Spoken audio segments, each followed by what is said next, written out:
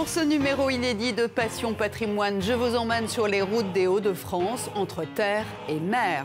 Au château de Pierrefonds, bâtisseurs et artistes du 19e siècle se sont inspirés des chefs-d'œuvre du Moyen Âge. Et Napoléon III va demander à Viollet-le-Duc de réhabiliter ce château. C'est vraiment un, un bijou.